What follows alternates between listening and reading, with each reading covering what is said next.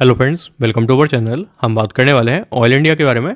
Oil India अगर हम देखें तो मैंने आपको टॉप से ब्रेकडाउन दिया हुआ है सेलिंग और जितनी बार भी इसमें बाइंग आया है, अपने इस चैनल पर भी और सेकंड चैनल पर भी मैंने आपको बार बार इसमें कहा कि इस बाइंग में ट्रैप मत होना, इस बाइंग में ट्रैप मत होना। ये सिर्फ़ एक कंसोलिडेशन फ़ेज़ है इसका। यहाँ पर आपको स्टॉक साइडवेज वॉलेटाइल दिख सकता है, लेकिन इस बाइंग में ट्रैप मत होना। ये बायर्स को ट्रैप करने के लिए है, क्योंकि अगर आप इसमें जब भी देखोगे बाइंग आया है तो जितना बाइंग आया है, उससे ज़्यादा सेलिंग आया है। जितना भी बाइंग आया, उससे ज़्यादा आपको सेलिंग देखने के लिए मिला है। यहाँ पर भी अगर आप देखो सेम कंडीशन था। अभी यहाँ पर भी अगर आप देखो जो बाइंग आया है, उससे ये सेलिंग बहुत ज़्यादा है।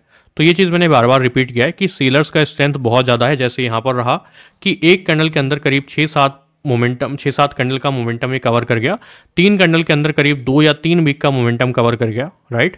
तो ये चीज़ समझिए कि इसका मोमेंटम बहुत स्ट्रांग है और आने वाले टाइम में कंटिन्यू कर सकता है। ये मैंने टॉप से दिया है आपको कि 550 का लेवल इंपॉर्टेंट होगा, यहाँ पर सपोर्ट लेगा, इसका ब्रेकडाउन करेगा तो 500 का लेवल इंपॉर्टेंट होने वाला है और 440 का लेवल बहुत इंपॉर्टेंट होने वाला है। फ़िलहाल, यहाँ पर तो किसी को बिलीव हुआ नहीं था। अभी जब सपोर्ट पर आ गया था, तब भी बहुत सारे लोगों ने नेगेटिव कमेंट्स किए कि नहीं हंड्रेड ई के ऊपर चल रहा है। किसी ने कहा कि उस न्यूज़ चैनल पर 700 का टारगेट दिया है इस टाइप की चीज़ें। देखिए, किसने कहाँ पर क्या दिया है, मुझे उससे कोई मतलब नहीं है। मेरा सिंपल है, आप प्राइस को रीड करिए प्राइस को समझिए, आप साइकोलॉजी समझिए क्या चल रहा है तो आपको ईजिली सारी चीज़ें समझ आ जाएँगी। कोई बोलता है कि न्यूज़ क्या है, क्यों सेल हो रहा है? हर चीज़ के पीछे कोई न्यूज़ नहीं होता है और मार्केट सिर्फ़ न्यूज़ बेस्ड नहीं चलता है। लेकिन अब जो लोग चार महीने पहले, पाँच महीने पहले ही मार्केट में आए हैं, उनके लिए न्यूज़ ही सब कुछ है। उनको क्रैश का मतलब ही नहीं पता, उनको करेक्शन का मतलब नहीं पता है। उनको नॉर्मल मार्केट जैसे कैसे प्राइस को एवरेज करता है, उनको उसका मतलब नहीं पता राइट तो क्या चीज़ें आप एक्सप्लेन करोगे? उनको ये पता ही नहीं है कि स्टॉक जब करेक्ट करने पे आता है तो बिना किसी रीजन चालीस पचास परसेंट करेक्ट कर जाता है, अगर उसने शार्प मोमेंटम दिया है। अभी के टाइम में अगर आप देखोगे तो जब टॉप पर दिया था, तब तो किसी को बिलीव नहीं हुआ था, लेकिन आज अगर आप देखोगे तो थर्टी से थर्टी फाइव परसेंट डाउन है। ठीक है? मैंने जब दिया था, वहाँ से अगर आप देख लोगे तो करीब ट्वेंटी फाइव परसेंट डाउन है। ठीक है? तो ये चीज़ है। फ़िलहाल के लिए अभी मैं सेम चीज़ फिर से रिपीट कर दे रहा हूँ। बाइंग के लिए मत प्लान करिएगा। मैंने आपको बाइंग पहले भी दिया है, बस कुछ लोगों को सुनाई नहीं देता है। वो चीज़ एक अलग है। मैंने आपको हर वीडियो में, जितनी वीडियोज़ मैंने आपको अभी तक शेयर की हैं, चाहे इस चैनल पर हो, चाहे सेकेंड चैनल पर, मैंने एक पॉइंट हमेशा रिपीट किया हर वीडियो में कि अगर आपको बाय करना है 610 के ऊपर बाय करना। अगर आपको बाय करना है 610 के ऊपर ही बाय करना। अगर स्टॉक में खुद इतना स्ट्रेंथ भी नहीं है कि वो 560 570 के लेवल से पाँच या सात परसेंट का मोमेंटम देकर इस लेवल को ब्रेक कर पाए तो फिर क्यों बाइंग करना है ऐसे स्टॉक को? सिंपल सी चीज़ है। अब जो, जिनको ये बात नहीं समझ में आई वहाँ पर इनडायरेक्टली उनके लिए आप कुछ नहीं कर सकते हो राइट सिंपल सी चीज़ है।